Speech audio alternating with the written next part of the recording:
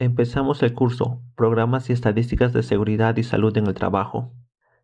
Este curso es organizado por la empresa Dicitur, empresa dedicada a la formación profesional en diferentes áreas como son administración, marketing, logística, seguridad industrial, derecho, entre otros.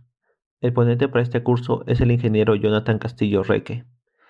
Es ingeniero industrial por la Universidad César Vallejo, MBA por la Universidad Rey Juan Carlos Madrid, España profesional con más de ocho años de experiencia asesorando e implementando planes de seguridad en base a la Ley 29783 a importantes empresas industriales, constructoras y mineras. Es auditor interno del Sistema de Gestión de Calidad ISO 9001. Es especialista en sistemas de gestión de seguridad y salud en el trabajo basado en la ISO 45001. Especialista e implementador de la seguridad y salud ocupacional Ley 29783 es especialista en implementación y auditoría de sistemas integrados de gestión en calidad, ambiente, seguridad y salud ocupacional y responsabilidad social. Es especialista en gestión de la seguridad industrial, ambiental, salud ocupacional y relaciones comunitarias. El temario para este curso es Plan y Programa Anual de Seguridad y Salud en el Trabajo, Estadísticas y Registros de Seguridad y Salud en el Trabajo. Doy pase al ponente para que pueda iniciar el curso. Mi nombre es Jonathan Castillo, soy ingeniero industrial si bien es cierto, el tema que vamos a tocar el día de hoy va a ser programas y estadísticas en lo que es seguridad y salud en el trabajo, pero antes de todo tenemos que saber qué es un sistema de gestión de seguridad y salud en el trabajo, cuál es la función y asimismo qué conceptos preliminares tenemos que tener en cuenta para nosotros dar pie a cómo vamos a ejecutar un programa o una planificación en el sistema de, de seguridad y salud en el trabajo. ¿Con qué finalidad, señores? Para nosotros poder evaluar lo que son indicadores como les estaba mencionando, señores, para nosotros este, saber, analizar una buena planificación en todo lo que es el sistema de seguridad y salud del trabajo, tenemos que tener a veces algunos conceptos básicos para así mismo nosotros poder proceder a analizar las estadísticas, los registros en cuanto a lo que concierne a todo lo que es un sistema de gestión de seguridad y salud en el trabajo. Si bien es cierto, tenemos que saber primero qué es un sistema de gestión de seguridad en el trabajo. Lo que implica tener un sistema de gestión de seguridad en el trabajo es que la gestión responsable que tenga la organización debe basarse más que todo en mantener las condiciones seguras y sanas para los trabajadores. Si bien es cierto, como ustedes pueden visualizar la diapositiva, se dice que la correcta administración de dichos elementos de esta organización, tanto lo que sean los elementos, como pueden ser la infraestructura, la maquinaria, los procesos, las personas, como los recursos humánicos, ¿qué es lo que tenemos que tener en cuenta? ¿Qué es lo que tenemos que basarnos en lo que es el sistema de seguridad y salud en el trabajo? Uno de ellos, como objetivo, es evitar accidentes y evitar las enfermedades. ¿Con qué finalidad, señores? De manera legal, cumplir con todas las normativas de seguridad y salud en el trabajo. Asimismo, lo que tenemos que prevenir es las lesiones, enfermedades e incidentes que podamos nosotros tener. Entonces, como tenemos que prevenir esto, entonces nosotros tenemos que hacer una evaluación inicial de toda la documentación que podamos tener. Para tener nosotros algunos conceptos importantes, para basarnos y hacer los indicadores de gestión, nosotros primero tenemos que saber qué es un incidente, un accidente, un acto inseguro, qué es una condición estándar, qué es una condición subestándar. Acá yo pues, me he basado en algunos conceptos importantes de seguridad para que ustedes tengan en cuenta para nosotros poder realizar esto que se va a basar, que son las estadísticas de seguridad. ¿Qué es un incidente? El incidente, señores, como ustedes pueden visualizar en la imagen, es un suceso en el que el trabajador ha podido tener un accidente. Es un potencial de que alguien puede tener un accidente. Ahora, este incidente puede ser leve, grave. En eso de ahí tenemos que tener en cuenta. Al igual, señores, el accidente. ¿Qué es lo que ocasiona, no? El accidente es que, eh, si bien es cierto, si nosotros, dependiendo de los trabajos que hagamos, ¿no? En dicha organización, que pueden ser algunos trabajos a nivel de piso, pueden ser trabajos riesgos críticos, como hablamos trabajos en altura, trabajos en espacios confinados, trabajos en caliente, ¿no? Lo que va a ocasionar es muchas veces es la lesión del trabajador, a veces una invalidez o una muerte. Asimismo, estos accidentes, señores, a veces se cometen por dos cosas, un acto o una condición insegura. El acto a veces es que por la misma dicha del trabajador, a veces que menciona el trabajador de que dice que él lo sabe todo, de que no está apto a aprender lo que es el tema de seguridad, o a veces menciona de que él, ¿no? La típica del trabajador es que a veces dicen, no, si durante tiempo a mí no me ha pasado nada, entonces en este trabajo tampoco no me va a pasar. Pero basta de que ese acto inseguro se convierta en un accidente y ya tengamos un trabajador con pérdida de tiempo de horas hombre, de que a veces tengamos que perder a veces hasta un día dando, brindándoles capacitación, dándoles charlas de inducción a estos trabajadores con la finalidad de que ellos tengan inconsciente que lo que, buscan, que buscamos acá como seguridad, ¿qué es?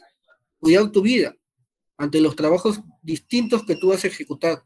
O avances hacemos condiciones inseguras. Una condición insegura es que a veces, por los mismos trabajos que nosotros hacemos, hay una falta de orden, no tenemos los EPPs adecuados, ¿no? Durante este tiempo yo he podido a veces visualizar de que a veces los trabajadores utilizaban EPPs que no eran los adecuados para una determinada actividad. Eso también es una condición insegura. Los equipos mal instalados, equipos inadecuados. Entonces eso también conlleva a que tengamos un accidente. Entonces, siguiendo con este tema, también tenemos que diferenciar qué son los peligros y el miedo. Los peligros, como ustedes pueden ver, ante las diferentes situaciones, que la escalera no es la adecuada para hacer estos trabajos y está ocasionando un peligro. ¿no? El peligro es el acto de que pueda suceder un accidente. ¿Y cuál es el riesgo? De que podamos caer a distinto nivel, tal vez una maquinaria que esté en funcionamiento, ¿no? Y, tal vez no, no ponemos los, los, los EPPs adecuados, ¿no? No tenemos la indumentaria adecuada, entonces, ¿qué suele suceder? De que podamos tener atrapamiento en los miembros superiores, inferiores, al igual que los actos, ¿no? Los, los actos, a veces la manipulación de no tener las herramientas adecuadas o tal vez no tener un mapel, ¿no? Un mapel, ¿qué significa? Materia, este, en un mapeo de los materiales peligrosos que nosotros podamos tener y cuáles son las implicancias ante esto. Tal vez si nosotros trabajamos con materiales peligrosos, no sabemos si podemos tener el riesgo de sufrir lesiones en el cuerpo, tener una intoxicación, una inhalación, que esto conlleve a que podamos nosotros tener en latente nuestra vida humana. Entonces, ante esto, se creó también la ley 29783, que la declaró el Estado. ¿Con qué finalidad, señores? La finalidad de la ley era que se basase en tener una cultura de prevención de, riesgos laborales. La finalidad acá lo que buscaba era cuidar la salud y seguridad de todos los trabajadores. Ustedes pueden visualizar en esta imagen que les he querido compartir acá, en algunas áreas de trabajo que yo he podido supervisar o evaluar, a veces encontramos esta imagen, donde que hay personas donde están haciendo la actividad, todo el mundo, a veces por la misma presión del trabajo, que no tengas una capacitación adecuada para analizar dicho trabajo, ustedes pueden visualizar de que cometemos varios actos o condiciones inseguras, como ustedes pueden visualizar. Este izaje de carga está mal porque eh, si este izaje de la carga le cayera a la persona, esta persona que estuviera con el vidrio, como pueden visualizar en la imagen, tuviera un accidente latente, al igual que la persona que va con la escalera. Hay diferentes actos, condiciones o incidentes que se puedan suscitar acá. ¿Cómo podemos nosotros evitar un accidente o una enfermedad? Es con la prevención, señores. Con la prevención y al hacer dicha actividad, tener identificado a través de un hiper cuáles son los peligros y riesgos latentes que puedan haber en las actividades, en instalaciones de equipos, y a la vez nosotros evaluar las medidas de control. Por eso se hace un IPC para nosotros tener en cuenta eso de ahí. Entonces, en base a todo ello, es lo que ya vamos a iniciar con esto. En sí, esto ha sido como un preámbulo, señores, para iniciar ya el contenido de dicho curso, que es el programa de estadísticas en seguridad y salud en el trabajo. La planificación, señores, de aplicación del sistema de gestión de seguridad y salud en el trabajo. Esto, señores, se va a basar, como dicen, en función, señores, al tamaño y la naturaleza de la organización. ¿Qué se tiene que hacer? Se tiene que primero hacer una evaluación inicial de lo que es seguridad y salud en el trabajo. ¿Cómo ha sido nuestro avance? Si a veces hay muchas empresas que no cuentan con un área de seguridad y salud en el trabajo. A veces, eh, como que los altos mandos, en este caso el gerente general, los directivos, los directores de operaciones, a veces dejamos de lado esta área de seguridad y salud en el trabajo. Piensan de que el área de seguridad y salud en el trabajo es un gasto que el empleador está haciendo hacia el trabajador, cuando esto en realidad es una mentira. Lo que nosotros hacemos como área de seguridad y salud en el trabajo, señores, no es un gasto, sino más bien es una inversión a largo plazo. ¿Con qué finalidad? De que nosotros no tengamos penalidades durante nuestro proceso de ejecución de dichas actividades, que no tengamos una penalidad, en este caso, ante el Estado, que cuando venga una supervisión, en este caso la SUNAFIL, nos puedan fiscalizar y evaluar de que tenemos todos los registros adecuados que manda la ley 29783. Y entonces, digo, cuando tengamos una auditoría interna, tengamos estos este, registros adecuados. Entonces, para esto, señores, nosotros hacemos una evaluación inicial o estudio de línea base. ¿Con qué finalidad? De diagnosticar, señores, el estado actual de nuestro área de seguridad y salud en el trabajo. Esta evaluación tiene que ser, señores, cuantitativa. ¿Cuantitativa en qué finalidad? De que tenemos que evaluar cuáles son los objetivos y metas que nosotros nos vamos a trazar. Por ejemplo, yo quiero reducir los accidentes en tal periodo. ¿A cuánto lo vas a reducir? ¿Al 100%? ¿Al 80%? ¿Al 50%? También, señores, tenemos que las enfermedades ocupacionales que podamos tener. Entonces, ¿qué nos menciona la ley 29783 en su artículo 37? De que nosotros la evaluación debe ser accesible a todos los trabajadores y a las organizaciones sindicales. El objetivo, mayormente, de esta planificación se debe centrarse, señores, en la mejora continua y en evaluar periódicamente cuáles van a ser nuestros desempeños. Asimismo, también tener en este caso un hiper que les mencioné anteriormente, y al igual tener una gestión de cambio. Tienes una gestión de cambio, qué cambios de nuevos procesos hay, métodos de trabajo, la estructura organizativa. ¿Con qué finalidad, señores? De tener esto todo documentado, ¿no? Evaluado, actualizado, específicos para dicha organización, ¿no? Y, y en sí, en base, los objetivos que queramos tener es que reducir riesgos, emisiones, índices, como le manda la ley. Para evaluar este sistema de gestión de salud en el trabajo comprende diferentes procedimientos internos y externos de la empresa. Analizar mediciones cualitativas, cuantitativas, ¿no? cumplir con los principios de seguridad y salud en el trabajo, de acuerdo a las normas legales, nacionales, que nosotros podamos tener. Y al igual nosotros, señores, tener también qué índices nosotros vamos a ejecutar para nosotros proceder a realizar nuestros este, registros, y asimismo nosotros tener nuestras estadísticas e índices de seguridad y salud en el trabajo. Lo que vamos a hacer dentro de la planificación ¿no? del sistema de, seguridad y salud en el trabajo, también tenemos que hacer una evaluación del sistema de, gestión de seguridad y salud en el trabajo, ¿no? como lo emana el decreto supremo 005 del 2012 en el artículo 87. ¿no? Dentro de sus lineamientos, ¿qué nos dicen? Tenemos que identificar las fallas o deficiencias del sistema de gestión tenemos que ver qué falencias nosotros tenemos. Tal vez no podamos cumplir al 100% con todos los registros que nos permiten realizar de acuerdo a lo que nos dice la ley. Como les mencionaba, es de acuerdo a la definición, el tamaño y la naturaleza de la organización. Pero en sí, lo que sí tenemos que tener en cuenta es que tenemos que también tener algunos registros obligatorios que tenemos que tener, ¿no? Al igual de adoptar medidas preventivas y correctivas, prever el intercambio de información. Esta información, señores, tiene que ser abierta para todo, para el trabajador. ¿no? Esta información en seguridad y salud en el trabajo no puede ser oculta. ¿no? Tiene que ser abierta para que ellos conozcan, si, si en ese caso tengamos una política de seguridad y salud en el trabajo, está contemplada con los lineamientos que menciona la organización, evaluar también la efectividad de dichas medidas aplicadas, ¿no? Cómo nosotros evaluamos. lo que es evaluar, señores, tenemos que evaluarlos en medidas cuantitativas, ¿no? Saber los índices, los accidentes que podamos tener, las enfermedades ocupacionales, los riesgos latentes que puedan haber en dicha, en dicha organización. Así mismo también, señores, basarnos en una mejorar nuestro IPC, ¿no? El IPC que es una identificación de peligros, riesgos y controles. Nosotros, realizar una actividad, todas las actividades que están basadas en la organización, señores, tenemos que tenerlos basados en un IPER. ¿El IPER qué es? El IPER es un documento, ¿no? Donde tú vas a mencionar un ejemplo.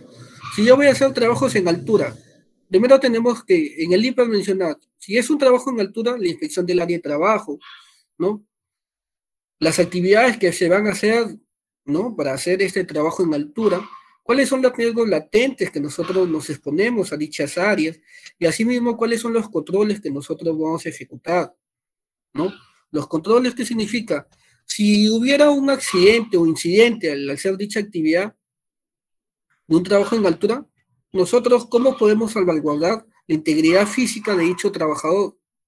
A veces por el desconocimiento del trabajador, ¿qué hacemos? ¿Los mandamos a hacer dicha actividad?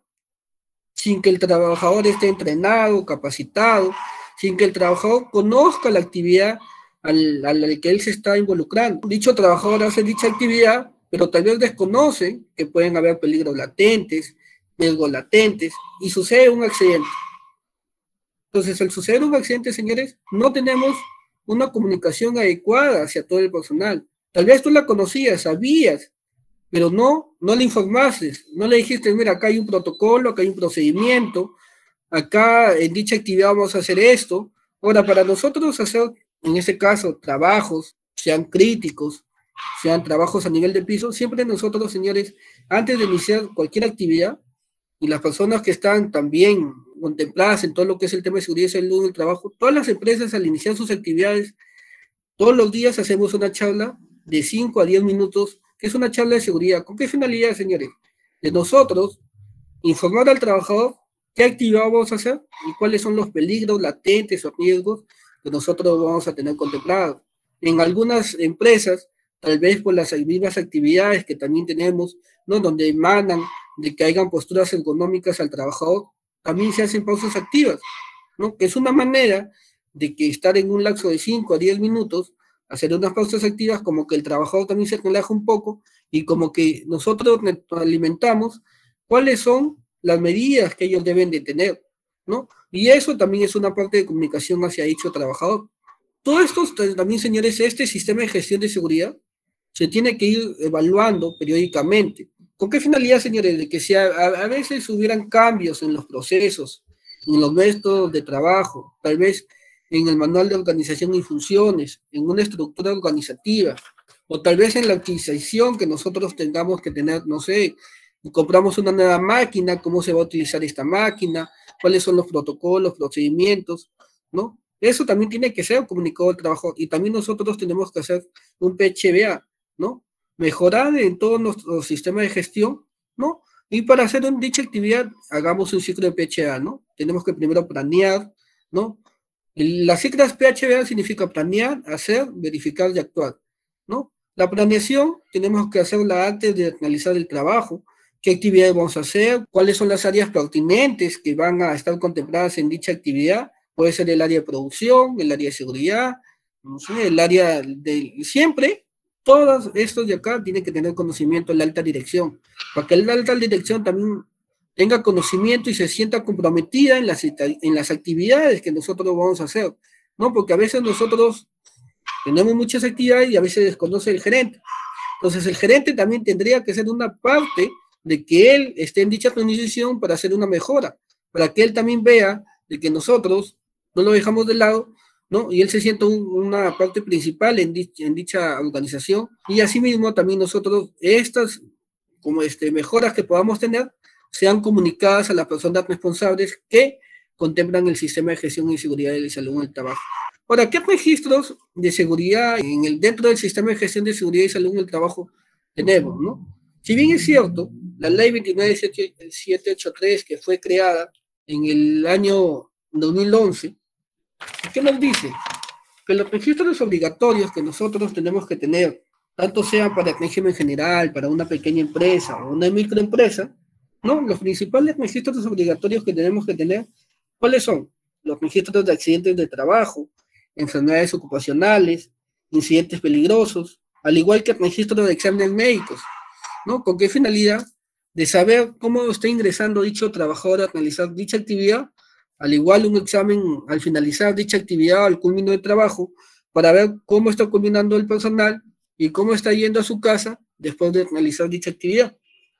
Al igual, señores, un registro de la evaluación del sistema de gestión de seguridad y salud en el trabajo. También los monitoreos de agentes físicos, químicos que nosotros podamos tener o factores de riesgos ergonómicos al hacer una actividad de trabajo. También tenemos que tener un registro, una ficha para llenar esa actividad y saber si dicho trabajador tal vez está apto para realizar dicha actividad o no.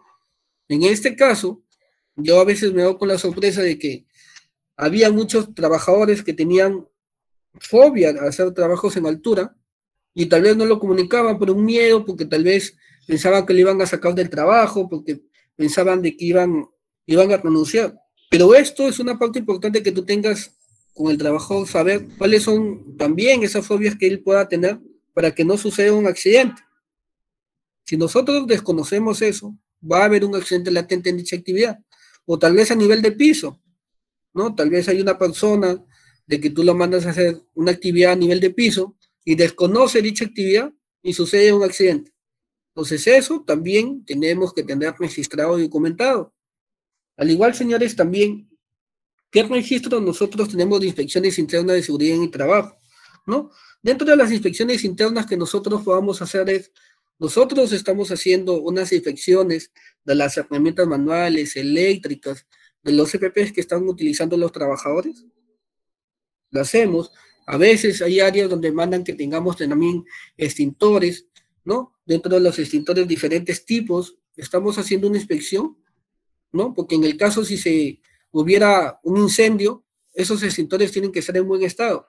Constantemente, esos registros van a permitir de que si tú estás llevando una inspección adecuada de, dicho, de dichos este, materiales que se están utilizando, de dichos CPPs que a veces se están utilizando.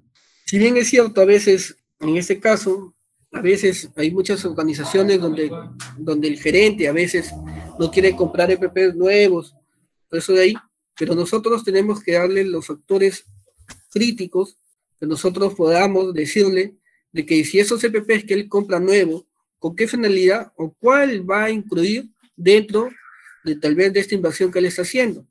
Asimismo, señores, tener, tener registros de inducción, capacitaciones, entrenamiento, simulacros de emergencia, que también lo solicita la, la ley 29783, al igual que el decreto supremo, ¿no? En su artículo 33, ¿no? Como el registro de, de auditorías, seguimientos, si nosotros en este caso hemos tenido auditorías o no, también eso tiene que estar registrado y contemplado dentro de todas las documentación que nosotros llevamos en todo lo que es el tema de seguridad y salud en el trabajo. Dentro de estos registros que nosotros podamos emitir de seguridad y salud en el trabajo, tenemos que tener documentados y tener archivados y clasificarlos de acuerdo a la manera y a la función y a las necesidades de la organización, ¿no? Y bien es cierto, el, decreto supremo, el 005-2012, en el artículo 35 y 36, de una manera legal que nos dice que los registros de accidentes de trabajo tienen que estar archivados por lo menos 10 años. Los de enfermedades ocupacionales, 20 años. Los de incidentes peligrosos, por un periodo de 10 años. Otros registros que no contemplen estos de acá, unos 5 años.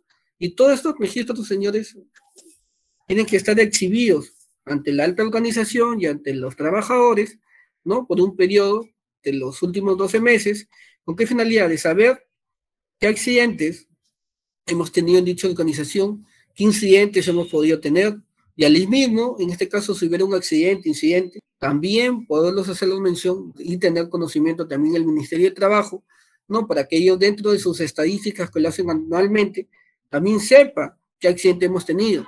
A veces mm, ha suscitado de que a veces cuando sucede un accidente en el trabajo, a veces tratamos de ocultar bastante información con qué finalidad de que dicha empresa no sea este, penalizada, no sea, a veces puede llegar hasta quebrar dicha empresa por un accidente de trabajo dependiendo los factores críticos que han podido tener, ¿no? Ustedes han podido ver o visualizar el accidente que hubo en McDonald's. Ese accidente, si tú te pones a evaluar, uno de ellos fue que dicho personal al realizar dicha actividad no tenían conocimiento del tema de seguridad y salud en el trabajo. ¿Por qué no tenían conocimiento? Porque no sabían, primero, no, dichos, dichas personas no estaban capacitadas y entrenadas para, dicho, para realizar dicha actividad. Dos, no identificaron cuáles eran los peligros y riesgos latentes a los que ellos se enfrentaban. Tampoco no tenían los CPPs adecuados ¿no? para realizar dicha actividad. Cuarto, de que ellos nunca llenaron ninguna documentación pertinente al tema de seguridad y salud en el trabajo. Y cuando sucedió el accidente, ¿no? Y estas personas murieron, entonces no había una estadística si la responsabilidad la tenía, en este caso, la organización o la tenían los trabajadores. No, porque a veces también ha suscitado de que la organización puede tener toda esta documentación, podamos tener varios registros que llenar, pero a veces el accidente ocasiona, señores, por el acto o el comportamiento del trabajador. El acto o comportamiento del trabajador también emite que hayan accidentes, y que estos accidentes sean de mayor gravedad. Entonces nosotros tenemos, como área de seguridad y salud en el trabajo, al tener toda esa documentación, ¿no? Tenemos que concientizar al trabajador cuáles son, para qué estamos llenando esta documentación, porque algunos tal vez no es llenar por llenar, toda esta documentación no es llenar por llenar, sino saber y las implicancias que nosotros podamos tener, ¿no? Como empresa, como, como empresa, como área de seguridad, y asimismo, cuáles son las implicancias ante estos trabajadores, ¿no? Y como les vuelvo a mencionar, para que estos no se vean, no se vean afectados en lo que es su integridad física, señores. Ahora, dentro de las estadísticas de seguridad y salud en el trabajo, ¿no? En base a todos estos registros, documentación que nosotros podamos tener, lo que se tenemos que evaluar, señores, es los accidentes sin pérdida de tiempo.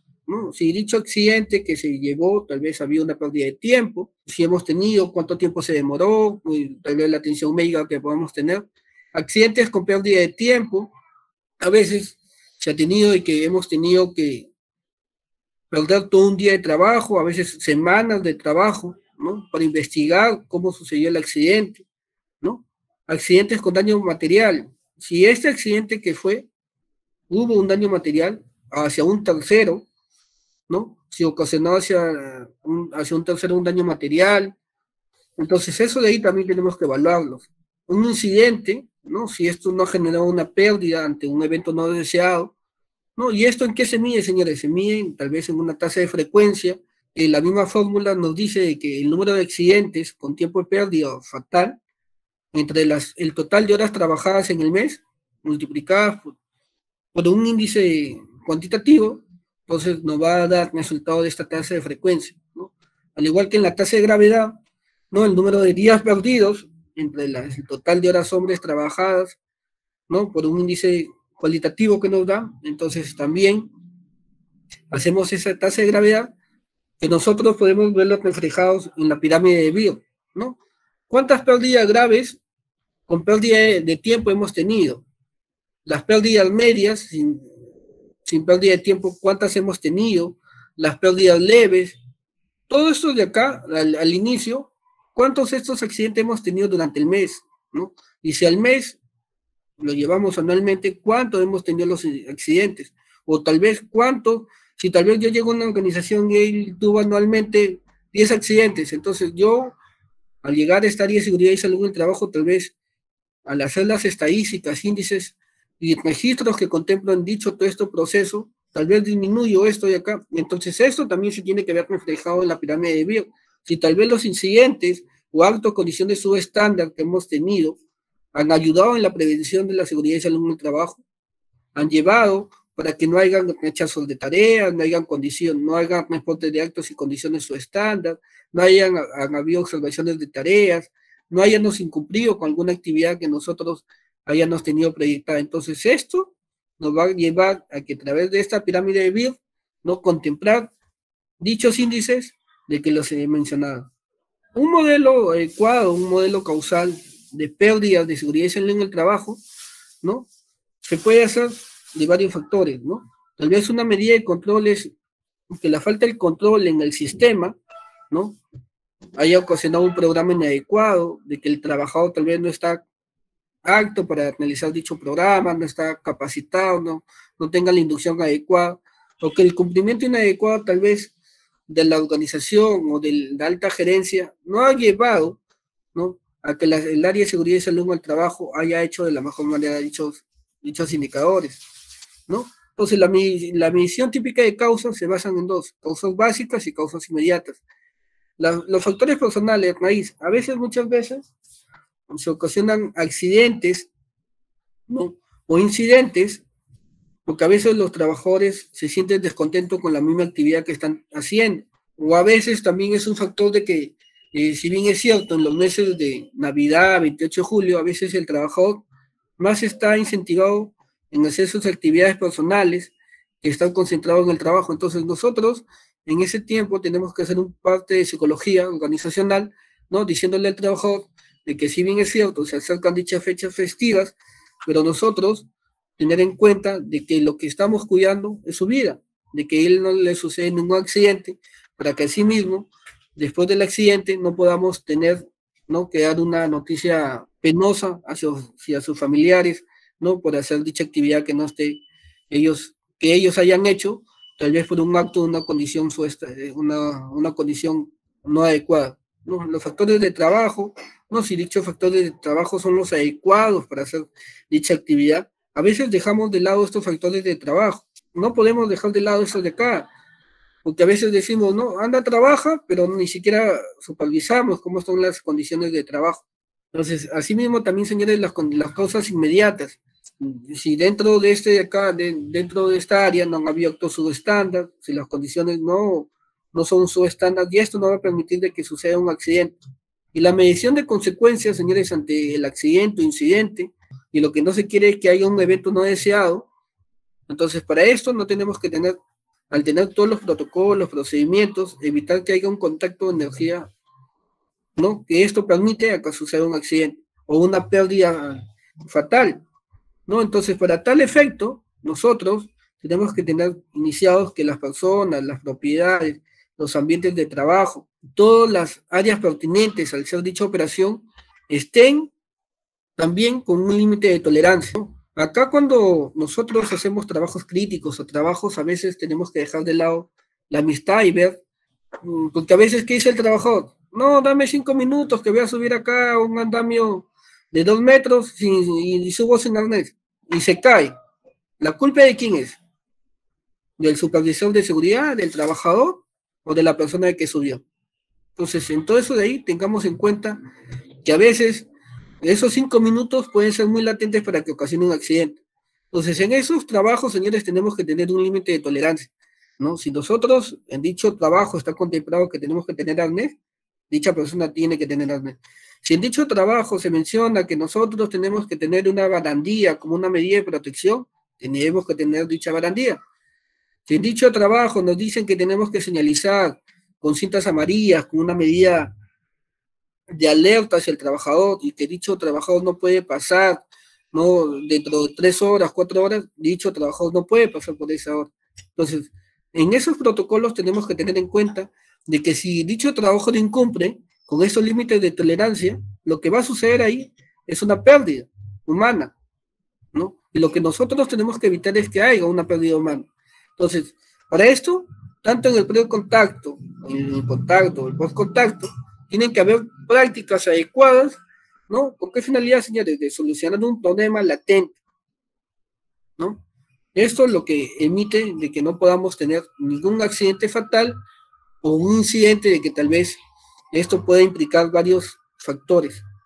Hemos concluido el curso Programas y Estadísticas de Seguridad y Salud en el Trabajo.